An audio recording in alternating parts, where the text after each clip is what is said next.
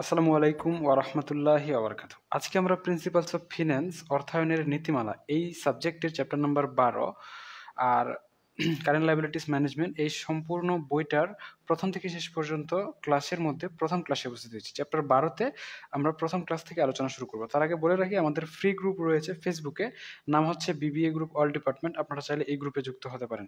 এটা ম্যানেজমেন্ট এবং accounting finance তিনটা ডিপার্টমেন্টের ক্ষেত্রেই প্রযোজ্য। ম্যানেজমেন্ট ডিপার্টমেন্টে বারো চ্যাপ্টার এবং অন্যান্য ফিনান্স এবং অ্যাকাউন্টিং ডিপার্টমেন্টে এটা মনে হয় দ্বিতীয় চ্যাপ্টার ঠিক আছে? তাহলে দ্বিতীয় চ্যাপ্টার আর বারোতম চ্যাপ্টারের অঙ্কগুলো একই রকম। তো আজকে আপনারা ফ্রি ক্লাস দেখে সিদ্ধান্ত নিতে পারেন। আমাদের সম্পূর্ণ বইটা যদি পড়তে চান আমাদের কাছে, তাহলে পড়তে পারেন, ঠিক আছে? তো ক্লাসটা শুরু করার পূর্বে আমাদের যে অন্য গ্রুপগুলো রয়েছে, সেগুলোতে আমি আমাদের এই লাইভটা শেয়ার করে দিচ্ছি, যেন আমাদের অন্য শিক্ষার্থীরাও এই ক্লাসটা দেখে উপকৃত হতে পারে। আপনারাও আপনাদের বন্ধুদের এই ক্লাসটা শেয়ার করে দিতে পারেন। যাদের প্রয়োজন রয়েছে যাদের এই লাইভ ক্লাসটা দেখে উপকৃত হতে পারে। এবং আপনারা যদি চান, তাহলে আমাদের অনলাইন ব্যাচে পড়তে পারেন। একদমই নামমাত্র ফি দিয়ে আমরা প্রথম থেকে শেষ পর্যন্ত সুন্দর করে অধ্যায়ভিত্তিক সিরিয়াল অনুযায়ী সম্পূর্ণ বইটাই আপনাদের পড়াচ্ছি। এই বিষয়টা আপনার জন্য খুবই খুবই খুবই হেল্পফুল হবে বলে আমি আশা করছি। তো প্রিন্সিপালস অফ ফিনান্সে আজকে আমরা বারোতম চ্যাপ্টারের প্রথম ক্লাসে উপস্থিত হয়েছি। প্রথম ক্লাসে আজকে আমরা একদমই বেসিক সূত্র থেকে আলোচনা শুরু করব বেসিক অঙ্ক থেকে আলোচনা শুরু করব। সো বেসিক অঙ্কগুলো এমনভাবে নেওয়া হবে যেন আপনারা প্রথম ক্লাসগুলো দেখে বুঝতে পারেন এবং প্রথমে অল্প সমস্যা থেকে বা অল্প মানে অল্প অল্প করে সমস্যা থেকে কঠিন কঠিন, জটিল জটিল ম্যাথগুলোর সলিউশন করতে পারেন। চলুন তাহলে শুরু করা যাক, আমাদের শেয়ার করার পর্ব শেষ। ঠিক আছে, আজকে আমরা এখানকার চার নাম্বার প্রবলেম থেকে শুরু করব, আলোচনা। বাই দ্য ওয়ে আমাদের প্রাইভেট গ্রুপে এই লাইভটা শেয়ার করা হয়নি। আমি একটু ওয়েট করেন, আমাদের প্রাইভেট গ্রুপে লাইভটা শেয়ার করে দিচ্ছি। ভুলে গেছিলাম প্রিন্সিপালস অফ ফিন্যান্স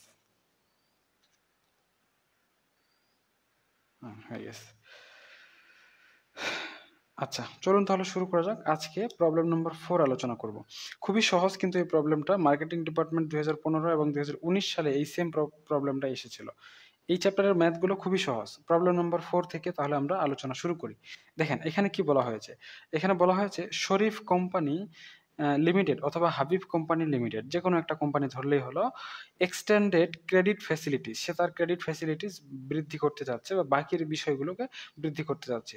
ফর টাকা দশ হাজার অন টার্মস এই দশ হাজার টাকা বিভিন্ন শর্তে। কি শর্তে? এক নম্বর শর্ত two by fifteen net forty five two by fifteen net forty five এটার মানে হচ্ছে দুই পার্সেন্ট বাট্টা পাওয়া যাবে বা দুই পার্সেন্ট ছাড় পাওয়া যাবে।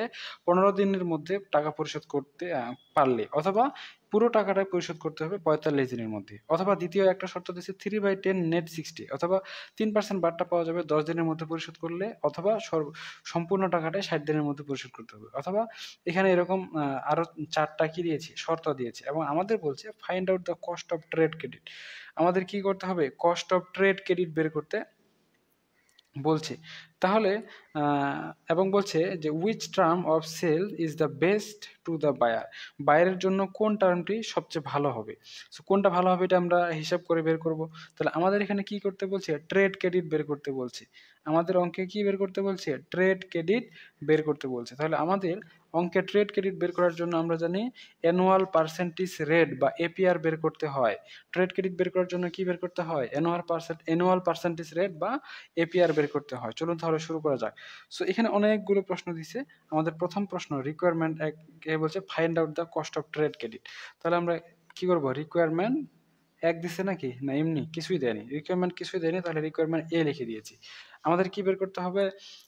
কস্ট অফ ট্রেড ক্রেডিট তাহলে আমরা লিখি C O S T cost of trade credit T R A D trade C R E D I T cost of trade credit তো আমাদের এখানে কন্ডিশন বা শর্ত কয়টা দিচ্ছে বলেন তো?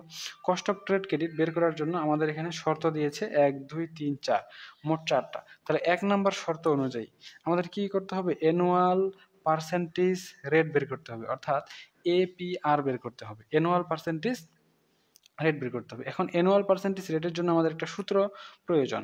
সেই সূত্রটা কি? সূত্রটা সূত্রটা হচ্ছে CD cash discount hundred minus CD into three sixty তিনশো ষাট divided by CP minus DP মানে credit period minus discount period into হচ্ছে ওয়ান হান্ড্রেড এটা কি আমাদের সূত্র? এটা আমাদের কি? অ্যানুয়াল পার্সেন্টেজ রেট বের করার জন্য সূত্র। এবং সূত্র লেখার সাথে সাথে আমরা কি করব?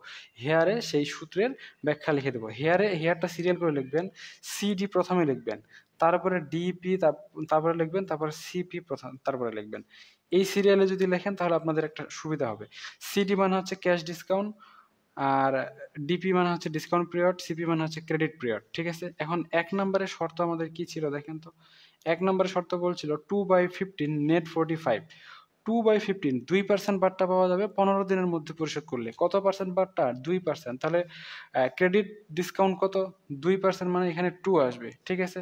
এরপর কত দিনের মধ্যে পরিশোধ করলে? পনেরো দিনের মধ্যে। তাহলে ডিসকাউন্ট পিরিয়ড কত দিন? পনেরো দিন। অথবা কত দিনের মধ্যে পুরো টাকায় পরিশোধ করতে হবে? সরি এইটা। পনেরো দিন। অথবা পরিশোধ করতে হবে পঁয়তাল্লিশ দিনের মধ্যে পুরো টাকায়। তাহলে ক্রেডিট পিরিয়ড কত? পঁয়তাল্লিশ। আচ্ছা সিডি ডিপি সিপি দুইটা পি পিছনে থাকবে সিডি ক্রস অবস্থায় থাকবে সি দিয়ে শুরু হবে। এটা খেয়াল রাখবেন, এই সিরিয়ালে লিখলে আপনাদের অঙ্ক করতে সুবিধা হবে। এই সিরিয়ালে লিখলে ছোট থেকে বড় এই সংখ্যাগুলো লিখে দিবেন। দেখেন, দুই, পনেরো, পঁয়তাল্লিশ। প্রথমটা, প্রথমে লিখবেন, দ্বিতীয়টা, দ্বিতীয় লিখবেন, তৃতীয়টা, তৃতীয় জায়গায় লিখবেন। এই সিরিয়ালে যদি লেখেন, অথবা আপনি এটা মনেও রেখে দিতে পারেন, এটা আপনার উইশ আমি এভাবে মনে রাখি এই জন্য আমি আপনাদের এভাবে সাজেস্ট করছি, ঠিক আছে? আচ্ছা এখন তাহলে আমাদের কাজ কি? এখন আমাদের কাজ হচ্ছে এই মানগুলো এখানে বসিয়ে দেওয়া। তাহলে সিডি ডিসকাউন্ট ক্যাশ ডিসকাউন্ট হচ্ছে দুই, এখানে সিডি হচ্ছে হান্ড্রেড মাইনাস দুই ইন্টু এখানে রয়েছে তিনশো ষাট। ক্রেডিট পিরিয়ড হচ্ছে পঁয়তাল্লিশ, বড় সংখ্যাটা আগে হবে, ছোট সংখ্যাটা পিছনে হবে, এটা সাধারণ। প্রতিবারে সেম টু সেম হয়, ঠিক আছে?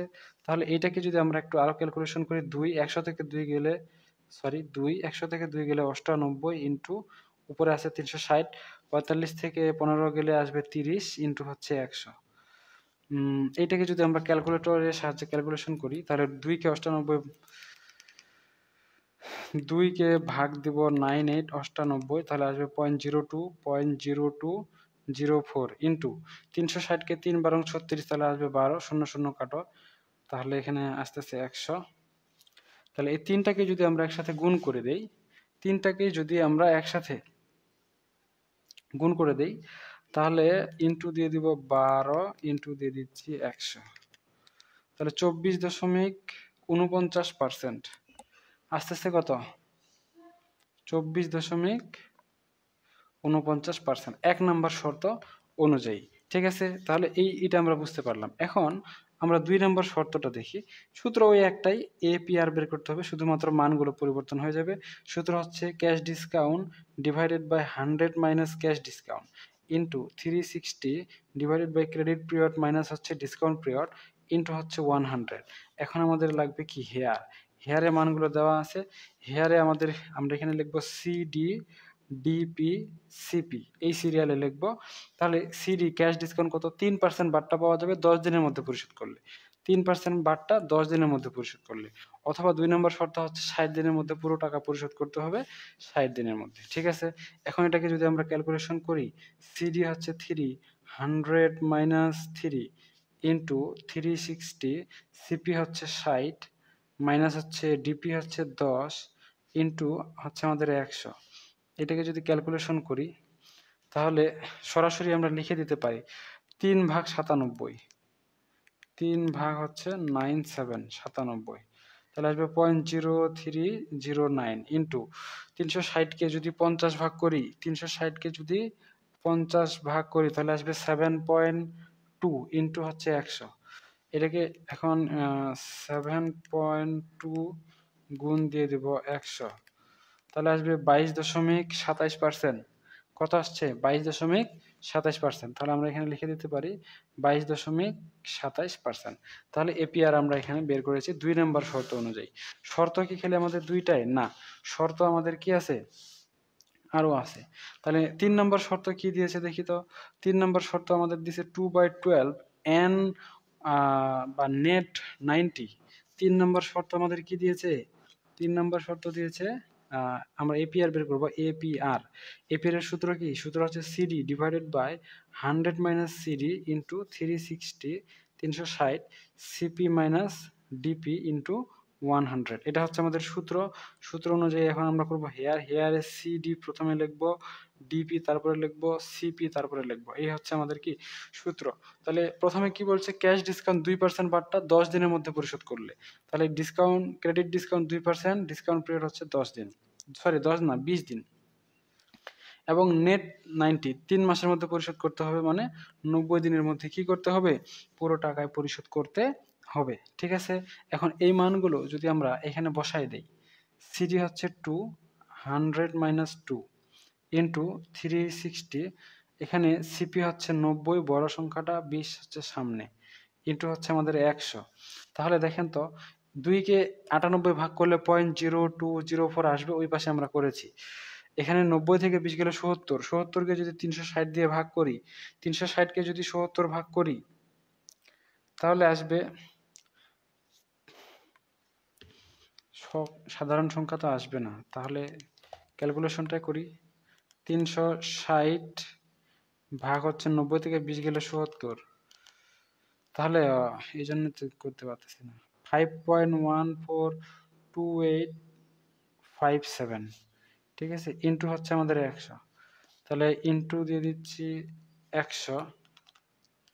ইন্টু দিয়ে দিচ্ছি,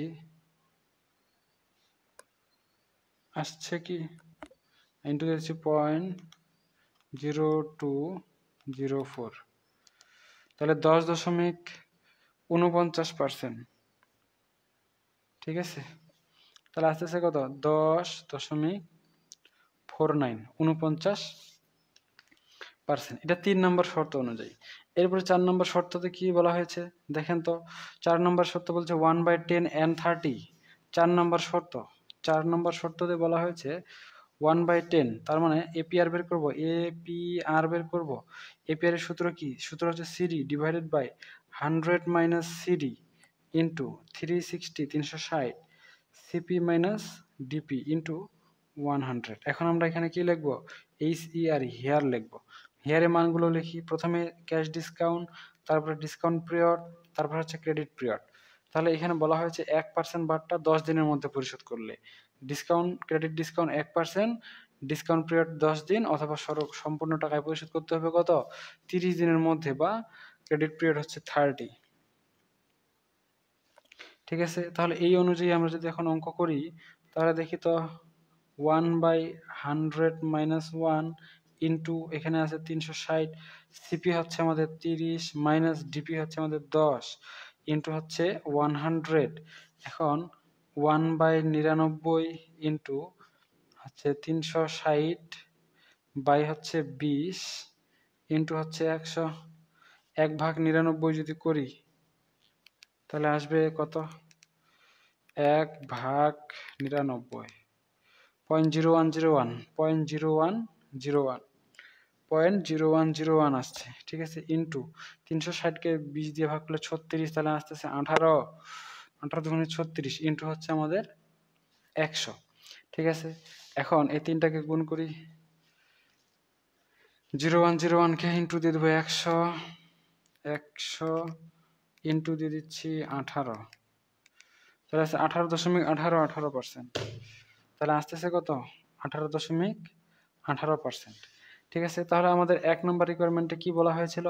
আমাদের এক নম্বর রিকোয়ারমেন্টে বলা হয়েছিল find out the cost of trade credit cost of trade credit বের করো বা নির্ণয় করো, তাহলে ট্রেড ক্রেডিট বের করা শেষ। এখন আমাদের বলছে উইচ টার্ম কোন শর্তটি অফ সেলস বিক্রয়ের is the best to the buyer বায়ারের জন্য ভালো হবে।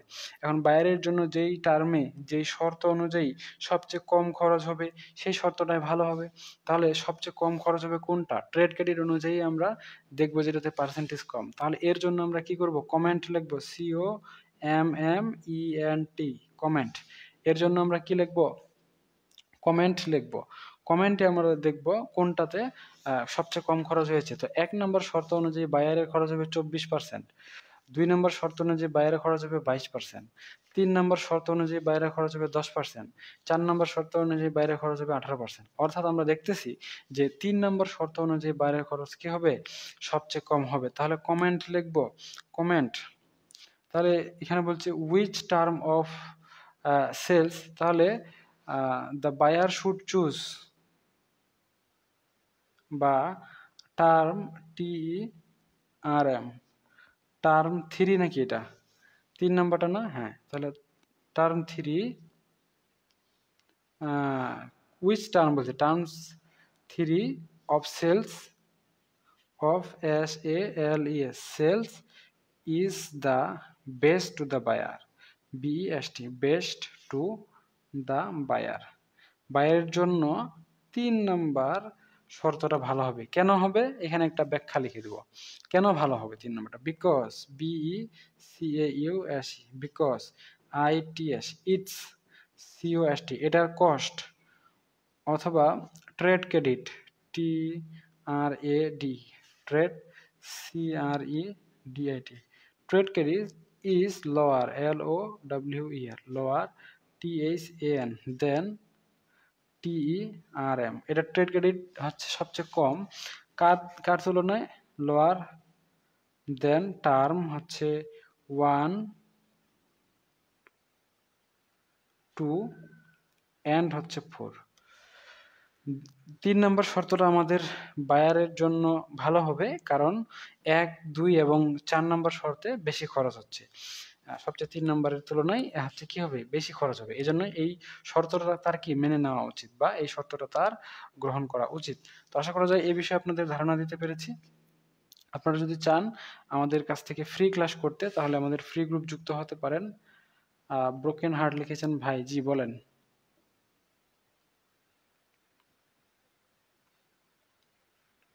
আচ্ছা এটা আমাদের ফ্রি গ্রুপ আপনারা এই ফ্রি গ্রুপে যুক্ত হয়ে থাকতে পারেন। এটা আপনাদের জন্য বেনিফিশিয়াল হবে। আর আপনারা যদি চান, তাহলে প্রিন্সিপালস অফ ফিনান্সের আমাদের প্রাইভেট ব্যাচ রয়েছে। আপনারা চাইলে প্রিন্সিপালস অফ ফিনান্স এই ব্যাচেও যুক্ত হতে পারেন। এখানে আপনাদের রেগুলার ক্লাস নেওয়া হয়। তো এই বিষয়টা আপনাদের জন্য হেল্পফুল হবে। আপনারা যদি চান, আমাদের কাছ থেকে সুন্দর করে প্রথম থেকে শেষ পর্যন্ত গুছিয়ে প্রস্তুতি নিতে, তাহলে আমাদের এই ব্যাচটা আপনাদের জন্য উৎকৃষ্ট হবে। আপনাদের কোনো প্রশ্ন থাকলে কমেন্ট সেকশনে জানাতে পারেন। আজকে পর্যন্তই। সকলেই সুস্থ থাকুন, ভালো থাকুন, আর আমাদের সাথে থাকুন। দেখা হচ্ছে আপনাদের সাথে নেক্সট পর্বে। ততক্ষণ পর্যন্ত খুদা হাফেজ।